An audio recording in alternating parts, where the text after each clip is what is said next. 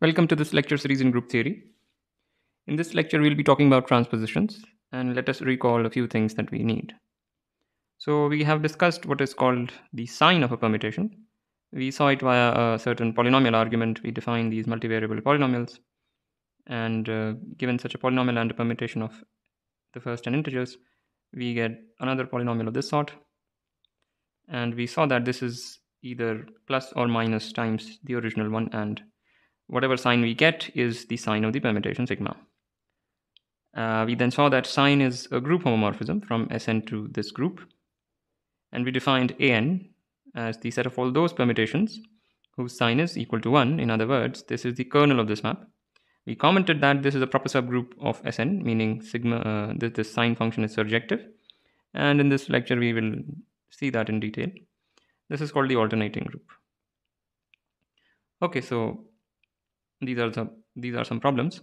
Uh, these two are star marked not because they are hard but because i'm going to use them in this lecture. So just please take note of them. Uh, and uh, yeah so let me comment. So this sigma is a k cycle and tau is some other k cycle potentially the same.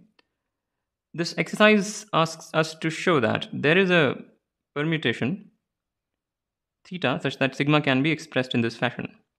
In other words or there's a certain terminology that I want to introduce. This is called conjugation by theta. So, what this exercise says verbally is that any two k cycles are conjugate in Sn, meaning there is some theta by which if you conjugate tau, you get sigma. So, that's what it says, and this is a sister exercise. Anyway, so let me continue. Okay, so let us define a transposition. A transposition is nothing but a two cycle, as simple as that. So that's the definition. So that's the definition of a transposition. Any two cycle in any Sn is called a transposition. Let's see an example. So this particular thing, there's something wrong with notability. This particular thing is a transposition, of course, it is a two cycle. In general, more generally, this is a transposition uh, where i is not equal to j, obviously whenever we write this, we automatically mean i is not equal to j, but I'm just emphasizing it here. So these are all the transpositions basically. Any transposition will look like this for some i not equal to j. And uh, here is a here is a simple example uh, how transpositions behave. We will look at it once more in this lecture, but for now, or at least uh, for this slide, let me just comment it here. So if you have a k cycle where of course we mean a1 a2 a3 and those are pairwise disjoint. And ak plus 1 is different from any of these. Then this particular transposition when producted with this cycle gives another big cycle. So it's a cycle of one length greater. So just check this. Uh, lastly suppose sigma and tau are two transpositions in Sn then there is a there is a theta a permutation theta such that sigma is the conjugation of tau by theta. This is the conjugation of tau by theta. And to see this, just use the first star mark problem. Right? That is, this is immediate, uh, in fact, a special case of the first star mark problem. Okay. So this is uh, a lemma which we saw as an example earlier that every cycle can be written as the product of transpositions. This is actually this this comment, but let me let me do the details. So let sigma be this particular k cycle. If we can prove it for this cycle, we can do it for any k cycle.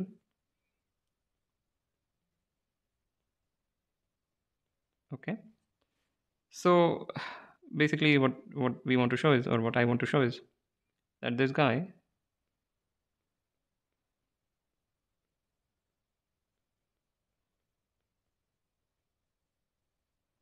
this guy is equal to so want to show that.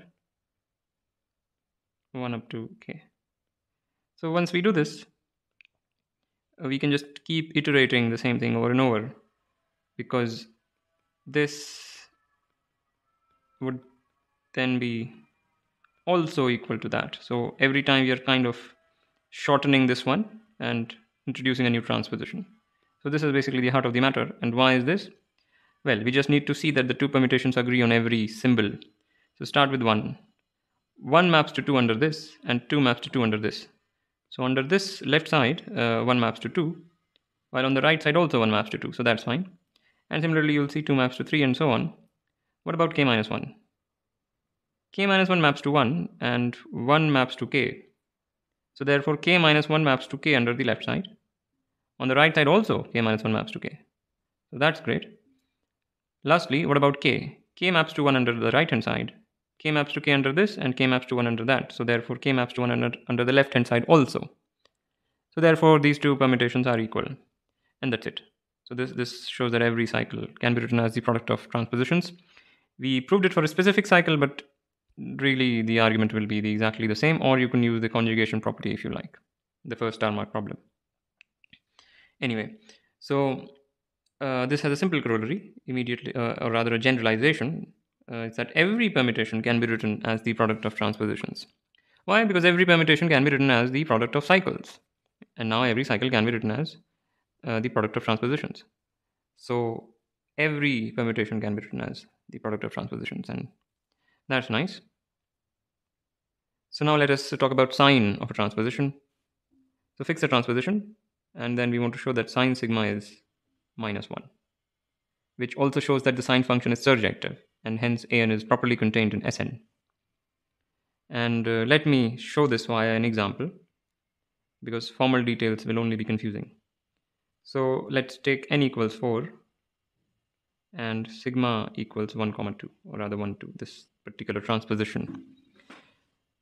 So we have this polynomial px1 x2 x3 x4 which is equal to I will write it in a certain way.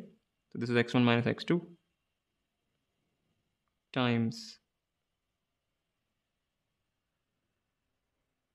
times x1 minus x3 x1 minus x4 multiplied by x2 minus x3 x2 minus x4 multiplied by x3 minus x4 so I choose to write it in this way for a certain reason that you will see. So what is p uh, x sigma 1 x sigma 2, x sigma 3, x sigma 4. Well, this is nothing but p x2, x1, x3, x4. So basically in place of x1 we will write x2 and in place of x2 we will write x1. So what happens to this guy? This guy just becomes x2 minus x1 which is minus x1 minus x2. So in place of that guy we just get minus x1 minus x2 and if you switch x1 with x2 in this in this place and of course x3 and x4 will remain fixed then this guy becomes that guy. And similarly if in this in this play in this uh, part you substitute x2 as x1 or rather write x1 in place of x2 you get the above one. So these two things just get switched under the you know application of sigma so to say. So therefore since you know they are commuting things it doesn't matter in what order we write them it doesn't really change that part. So that part remains un unchanged.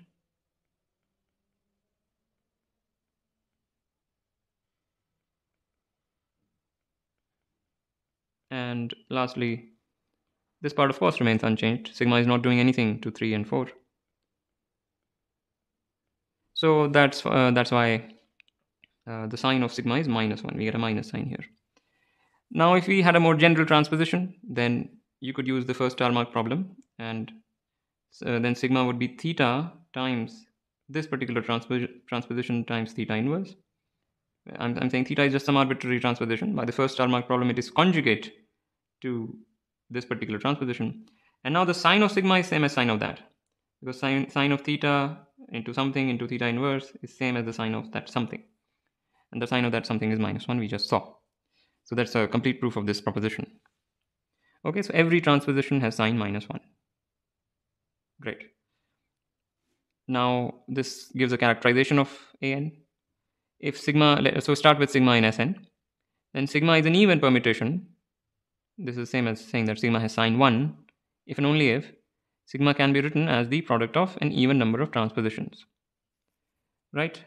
So if sigma can be written as the product of an even number of transpositions, then clearly the sign of sigma is 1 because sign of every transposition is minus 1 and if you multiply minus 1 with itself an even number of times you get 1 So one direction is clear, meaning when sigma can be written as the product of an even number of transpositions, then sigma is an even permutation, meaning its sign is 1.